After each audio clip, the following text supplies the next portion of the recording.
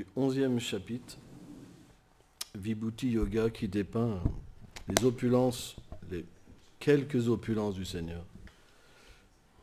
Quoi? Si on peut parler des opulences, c'est des opulences partielles.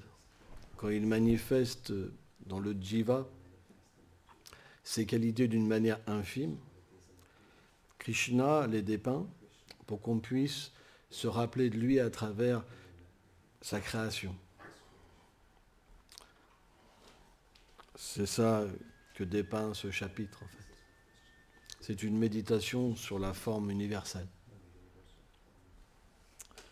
Om Namo Bhagavate Vasudevaya. Om Namo Bhagavate Vasudevaya. Om Bhagavate Vasudevaya. Om Namo Bhagavate Vasudevaya. Om Namo Bhagavate Vasudevaya. Om Namo Bhagavate Vasudevaya. Sarvam Ritam Manye. 14. Page, page 237. C'est bon? On recommence. Sarvam Betam Ritam Manye. Yamam Vadasi Keshava. Naitim Bhagavam Vyakti.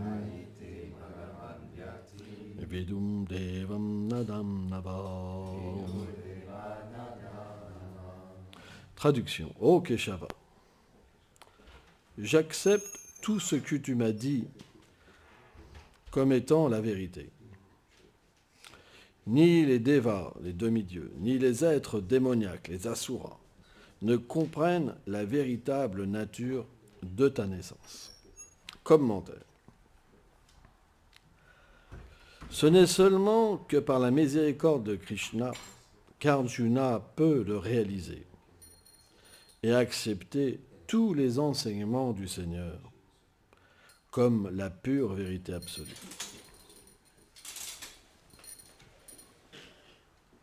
Même les grands sages et les demi-dieux ne peuvent comprendre la nature de ces apparitions en ce monde,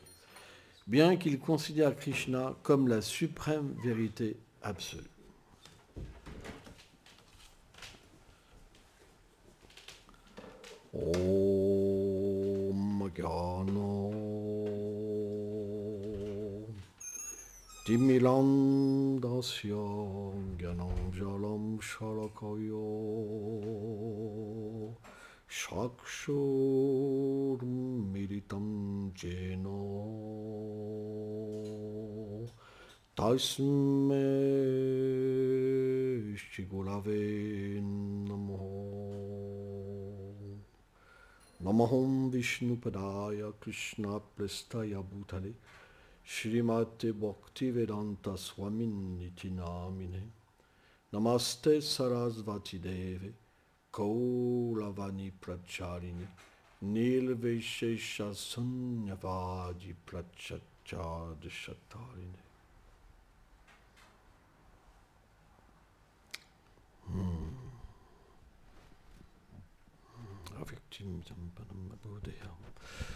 Krishna explique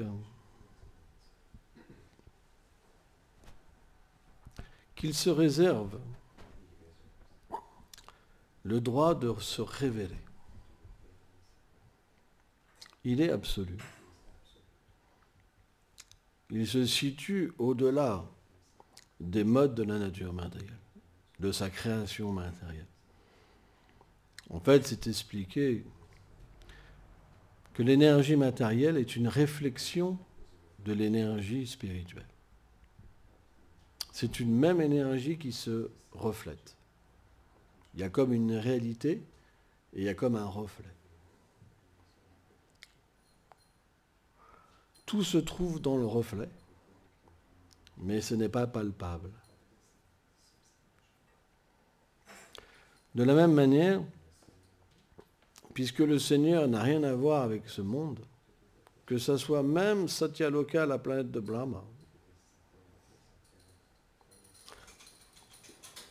à les plus grands sages comme Marishi,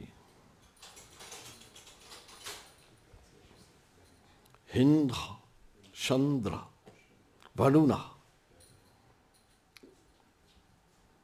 il reste des êtres qui, subissent l'influence de l'énergie matérielle.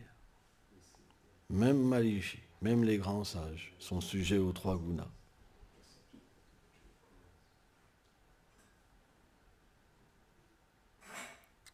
C'est ce qu'expliquent les associés du Seigneur. Or, Vishwanath Chakravarti Thakur, Bhaktivedanta Thakur, Bhaktivedanta, Bhaktivedanta, expliquent tous cette même vérité à travers l'essence matérielle, à travers l'intelligence matérielle, on ne peut pas comprendre la transcendance. C'est pourquoi même les demi-dieux, même les sages ne peuvent comprendre Krishna, la vérité absolue. Où se trouve Krishna? Dans le cœur du pur dévot. Parce que Krishna, il n'était pas il se révèle selon l'attitude de l'être vivant. Hmm.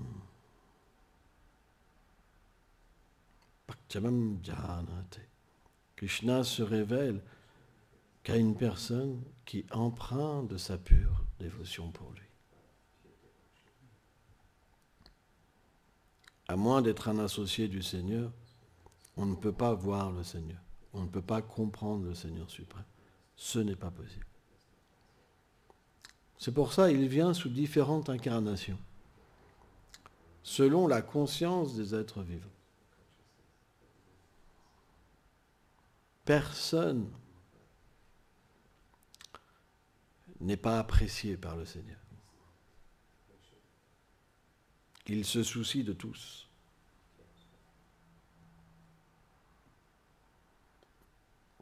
Mais c'est très difficile de comprendre la naissance du Seigneur et ses actes.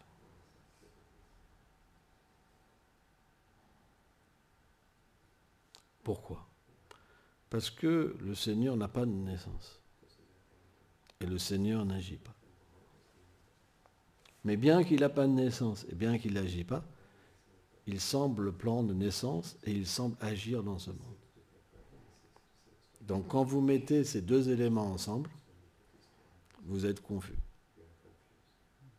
C'est pour ça qu'on ne peut pas comprendre avec un intellect matériel. Parce que ce n'est pas rationnel. Ce n'est pas compréhensible matériellement. Comment c'est compréhensible? Krishna, il donne l'intelligence à son dévot. Une intelligence transcendantale. On, nomme Buddhi Yoga. Cette intelligence, c'est quoi? C'est que Krishna lui-même explique à son dévot dans son cœur. Alors, la parole du Seigneur amène la vérité, de voir ce que personne ne peut voir. C'est très rare. En vérité, le Seigneur peut parler à différentes sortes d'êtres vivants. Le Bhagavatam m'explique ça. Selon les austérités et la connaissance que l'âme conditionnée a acquis dans ses vies passées. C'est pour ça, dans le verset, le Seigneur dit, je donne la foi dans la déité que la personne adore, la force, et je donne aussi le, but, le fruit. En fait, ce Seigneur qui est dans le cœur, il aide chacun à atteindre son but. Mais lorsqu'on peut comprendre son nom, sa forme, ses attributs et ses divertissements, c'est une miséricorde spéciale. Parce que personne ne peut comprendre ça par lui-même. Même par une voie religieuse. C'est pas possible. Même les sages, ils ne comprennent pas ça. Ni les demi-dieux.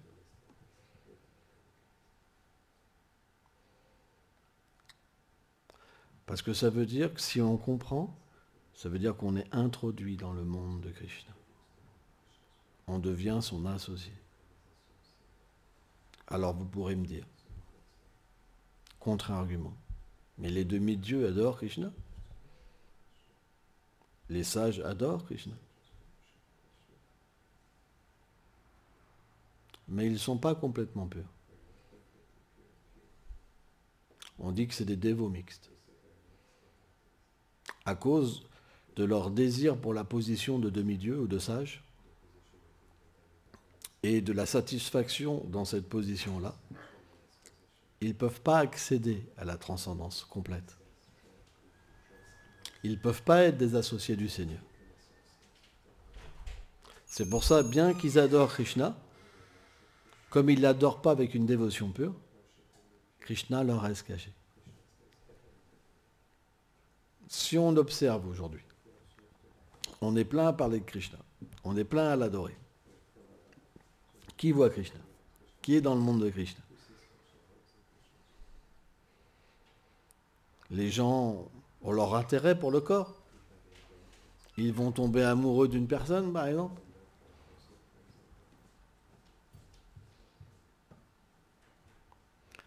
Ils vont avoir toutes sortes d'objectifs. Mais qu'est-ce que fait Krishna en ce moment? Et quelle est notre position par rapport à Krishna? Éternel. Est-ce que ça nous est révélé? Ou ça nous est caché? Si ça nous est caché, c'est parce que nous avons d'autres désirs en nous plus importants que de devenir un associé éternel du Seigneur suprême. C'est pourquoi nous sommes dans cette condition. C'est la réalité. Sans ça, on serait introduit dans les divertissements de Christ. Quel est le but de la vie spirituelle? On chante les saints on offre la nourriture à Krishna, on prend les restes de sa nourriture, on adore la déité, on sert les dévots. Notre but, c'est de nous purifier, de ces dernières tendances qui restent en nous, qui nous empêchent que Krishna réciproque complètement avec nous. Qu'est-ce que ça veut dire? La pratique spirituelle et Krishna sont une même personne. Le nom de Krishna n'est pas différent de lui-même. La forme de Krishna, la déité, n'est pas différente de lui-même. Les gloires de Krishna ne sont pas différentes de lui-même. Donc à travers le contact avec Krishna, on devient graduellement attiré, puis amoureux de Krishna. Alors le problème, c'est qu'entre-temps, entre le début et l'accomplissement, on peut tomber amoureux de un, dévot, une personne de l'extérieur, ou vouloir être puissant, ou je ne sais pas, et s'arrêter en chemin. Donc le point, c'est que bien que les obstacles arrivent, des gros obstacles,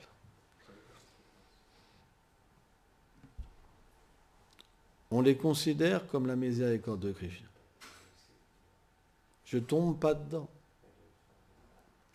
les obstacles viennent simplement pour que je puisse prouver mon amour à Krishna. Bien que tout ça, ça m'est offert, je baisse la tête et j'en veux pas. Quand Prahlad Maharaj, il était sur les genoux de Nishingadev, sur ses cuisses, après que Nishingadev ait léché son corps, comme une lionne lèche son lionceau. Le Seigneur a essayé de donner plein de choses matérielles à Prahlad. Prahlad, qu'est-ce qu'il a dit?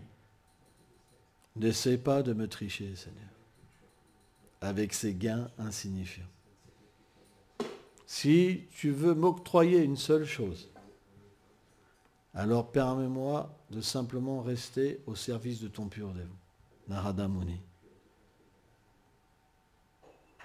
Voilà ce que veut un Vaishnav, du service. Rien pour lui, tout pour Krishna, tout pour ses dévots. Donc dans cette évolution de la bhakti, il y aura des pièges. Mais ces pièges, on doit comprendre que c'est juste une illusion. C'est l'énergie matérielle qui vient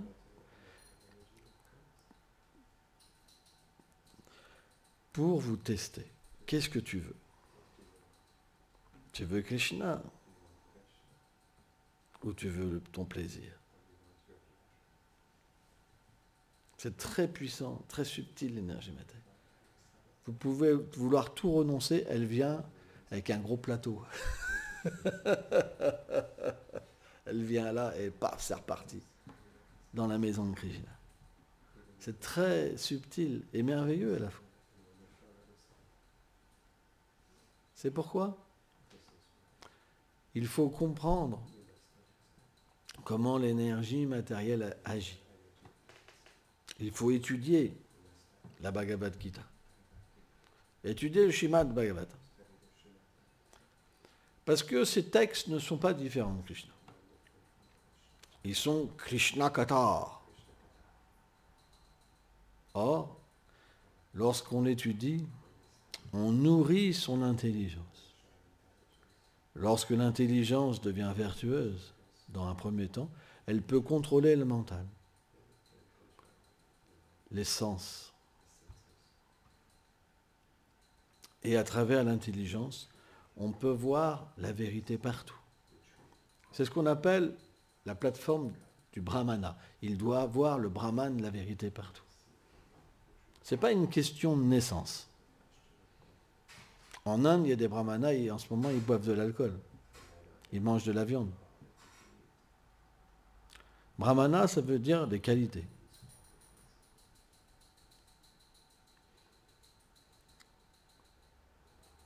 Bien sûr, on doit purifier la naissance en chantant le saint nom du Seigneur suprême. C'est expliqué qu'un seul nom chanté peut détruire plus d'activités pécheresses qu'une personne aurait pu accomplir depuis des vies et des vies et des vies. C'est ça la puissance du pur nom. Un nom, tout est effacé. Le deuxième, Krishna apparaît.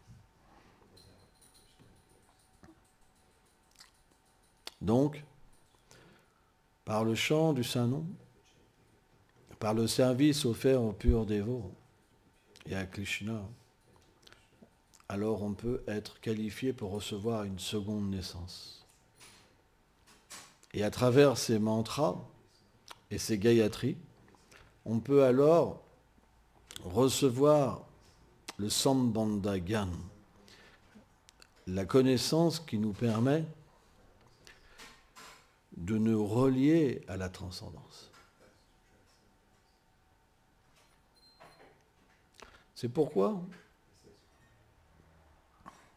c'est une évolution spirituelle. Lorsqu'on progresse, on ne revient plus jamais en arrière.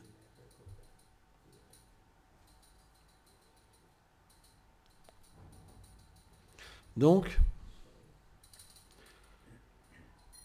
C'est très difficile pour les êtres ordinaires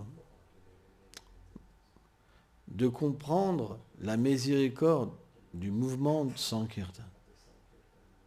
Quand le Seigneur Chaitanya Mahaprabhu vient dans ce monde et que il donne sa miséricorde d'engager tous les êtres dans son service de dévotion, parfois ceux qui sont gouvernés par des règles secondaires pensent que ce n'est pas authentique. Alors que c'est le Seigneur lui-même qui vient. Et surtout que ce Seigneur, il est même énoncé dans la Tarva Veda. Il y a tellement de versets qui annoncent l'apparition de Chaitanya Mahaprabhu. Peut-être une centaine de versets, c'est pas juste un. C'est tellement de versets qui, qui annoncent, qui prophétisent la venue de Mahaprabhu dans cet âge de Kali. Son père, sa mère, à quel endroit il apparaît, à quel moment, etc. Mais pourtant, bien que ça soit écrit, parce qu'il y a une conception corporelle de l'existence, alors on ne peut pas y croire. Je me rappelle, j'avais été au Népal et on avait rencontré un, grand euh, dévot de Shiva. Les Vaishnavas respectent Shiva. En fait, Krishna lui-même dit, celui qui m'adore mais qui n'adore pas Shiva, son adoration, elle n'est pas authentique. Et Shiva dit, celui qui m'adore mais qui n'adore pas Krishna, c'est pas complet, pas authentique. C'est deux vérités très liées. Sauf que Krishna, hein, Vishnu, Nalayan, c'est une même personne. Shiva se considère toujours le serviteur. Pourquoi? Parce que Shiva vient de Krishna.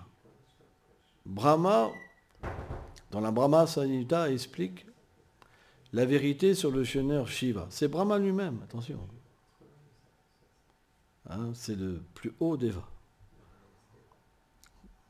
Bien que Shiva Sada Shiva, le, Shiva originel, est considéré euh, plus élevé.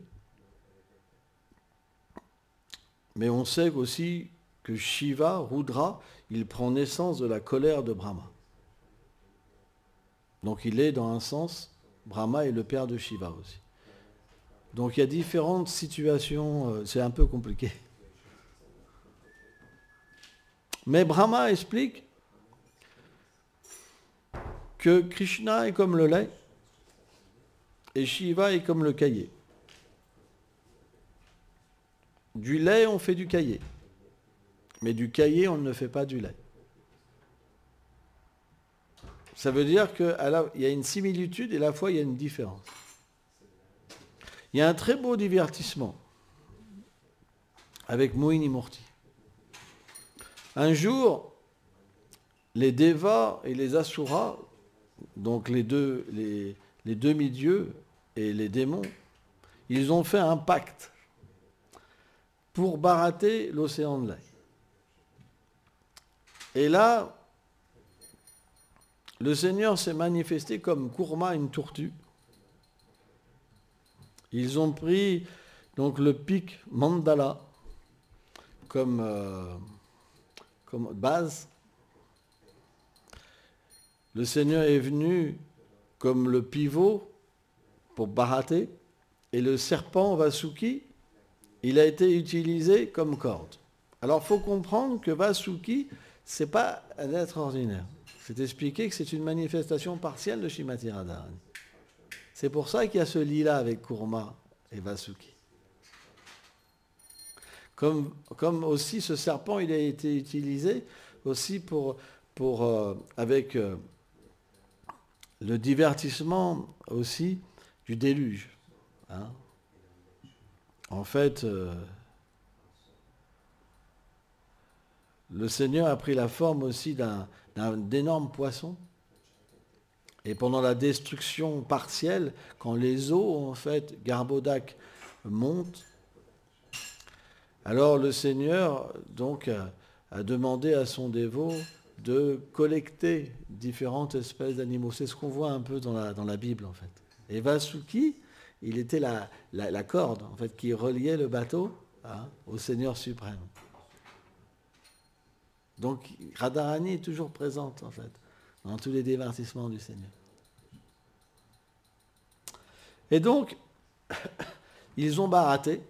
Il y a plein de sortes de choses qui sont apparues. Et une des choses, c'est qu'il voulait le nectar, le nectar de l'immortalité. Et pour une raison ou pour une autre, les, démons s'étaient emparés du nectar. Et le Seigneur, donc, a pris une forme merveilleuse, une forme féminine, pour naturellement récupérer ce nectar. Et quand les démons, ils ont vu cette forme merveilleuse, ils bavaient. Ah, ils étaient complètement enchantés. Et donc, euh, Krishna a pu faire ce qu'il voulait avec les démons. En fait, on trouve cette même chose dans ce monde matériel. Quand une femme est belle, elle obtient tout des hommes. Les hommes deviennent comme ses valets. Ils sont contrôlés. C'est ça la force de la concupiscence. C'est pour ça qu'on dit qu'une femme, c'est comme du feu et l'homme, c'est comme du beurre. C'est pourquoi dans la société védique, on met une séparation entre les hommes et les femmes. Parce que si une femme n'est pas chaste, l'homme ne peut pas se concentrer sur la vie spirituelle. C'est pour ça qu'une femme chaste, c'est considéré comme un château fort pour l'homme. C'est comme une protection. Si toutes les femmes sont chastes, tous les hommes peuvent pratiquer la vie spirituelle. Si les femmes ne sont pas chastes, c'est impossible pour la société. Aucun homme ne peut méditer et atteindre la réalisation spirituelle. C'est impossible. Et donc, le Seigneur a récupéré ce nectar. Et à un moment, Shiva, il avait entendu parler de cette forme. Et euh, il était sur sa planète,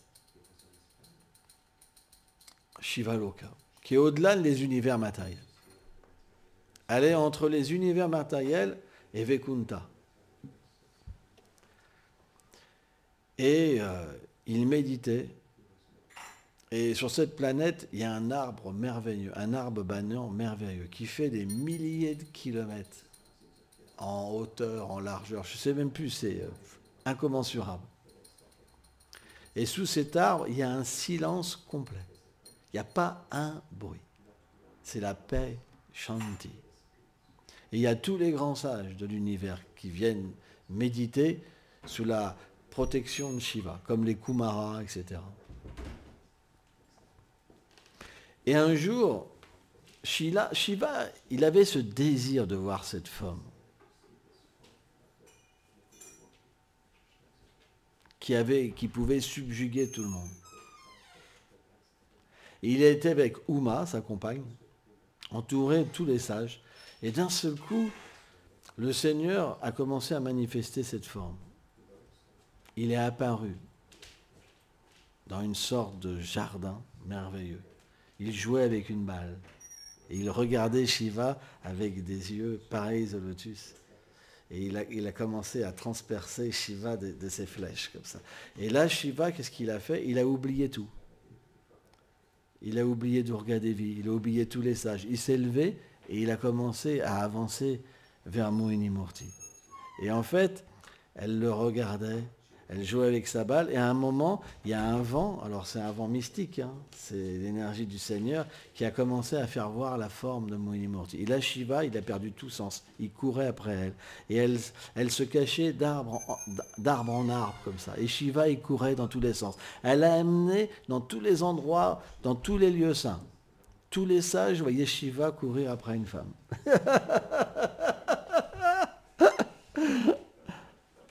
Et quand Shiva il a pu attraper Monimurti, il a perdu sa semence. Et c'est là qu'est apparu l'or, c'est expliqué. C'est de la semence de Shiva qu'est apparu l'or. Et au moment même où il a perdu sa semence, il a retrouvé la raison. Et il a offert des prières au Seigneur suprême. Il a dit, il n'y a que toi, en fait, qui peut me mettre dans l'illusion. Et le Seigneur lui dit, en fait, je suis très content de toi, Shiva. Donc, il y a des sortes de divertissements comme ça, merveilleux. Et ce qui est vraiment incroyable, c'est quand le Seigneur suprême vient dans une forme de douceur, comme Ramachandra par exemple. Alors, ce qu'il y a de déroutant, c'est que dans la demeure du Seigneur, le Seigneur n'est pas adoré comme le Seigneur. Alors c'est un peu compliqué à comprendre. Ça veut dire que Krishna a, deux, deux, aspects. Eshvarya, l'opulence, et Madhurya, la douceur. Et ces formes parfois manifestent beaucoup d'opulence. Alors Shiva est le serviteur. Mais quand il manifeste sa douceur, il enlève sa divinité. Et à ce moment-là, dans son monde à lui, avec ses dévots, ils offrent en fait un culte à Shiva. Et on voit que Ram adorait Shiva. Mais il y a un fameux lingam qui s'appelle Rameshvar en Inde, qui est une forme de Shiva adorable, très adorable. Et un jour, parce qu'il s'appelle Rameshvar, Ishvara, Ishvara ça veut dire le Seigneur. Donc ça peut être pris dans deux sens. Que euh, Shiva est le Seigneur de Ram, ou Ram est le Seigneur de Shiva. Les deux sens peuvent être compris. Et les gens commençaient, donc, c'était, euh, un, je ne sais plus si c'était Shivaratri, c'était un moment propice où tous adoraient Shiva. Ils le glorifiaient comme le Seigneur de Ram. Et là, il y a une voix dans le ciel où Shiva a dit non, Ram est mon Seigneur. Donc, qu'est-ce que vous voulez comprendre dans tout ça? À moins d'avoir une intelligence spéciale donnée par le Seigneur, vous êtes simplement perdu. C'est pour ça que quand Krishna, par exemple, apparaît dans le monde matériel, il apparaît à deux endroits simultanés. Un endroit à Mathura, où il manifeste sa forme de Narayan, à quatre bras, à Vasudev et Devaki. Et à la fois simultané, il, il apparaît à Vraj, à Gokul.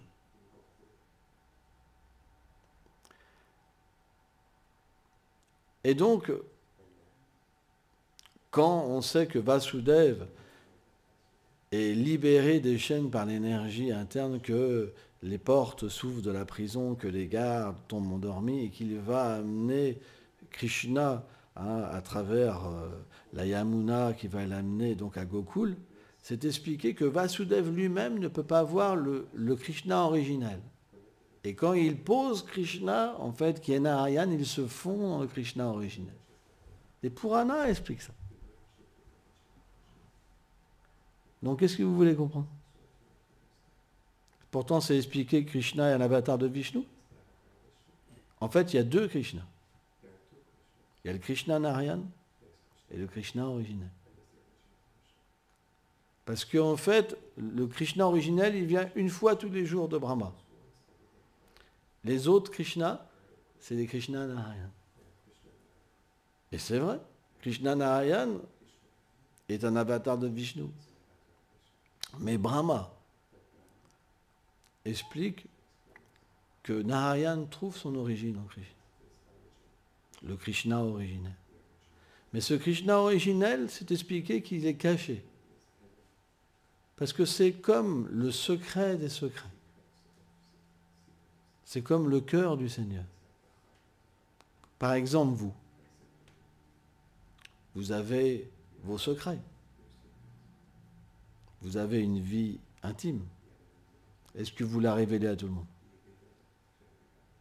Eh bien, c'est de la même manière. Le Krishna originel, c'est comme, comme le Seigneur à la maison. Il n'y a que des dévots qualifiés qui peuvent le saisir. C'est pourquoi on ne devrait jamais se battre en se disant pourquoi il dit ça, pourquoi l'autre il dit ça, c'est normal. Chacun a sa version selon l'intelligence que le Seigneur lui donne.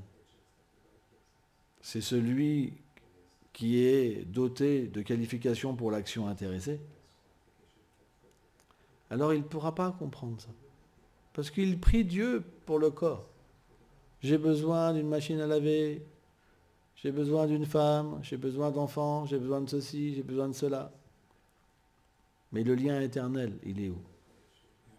Celui qui veut la libération, il veut se libérer, mais où est le lien éternel? Donc ce n'est pas si simple. C'est pourquoi on doit respecter toutes les qualifications. En comprenant que l'intelligence est donnée par la même personne mais qu'on n'a pas tous la même vision. Parce qu'on a tous un avancement spirituel différent. Et c'est avec, avec ça que le Seigneur réciproque. Si vous n'avez pas la possibilité de comprendre, il faut bien qu'il vous aide à un certain niveau. On voit dans le monde matériel, c'est pareil. Il y a le CP, CE1, CE2, CM1, CM2, 6e, 5e, 4e, 3e, etc. On ne va pas enseigner en maths, sup, euh, on ne va pas enseigner au, au, CP le maths sup. Donc, la conscience, elle s'éveille à travers le voyage spirituel.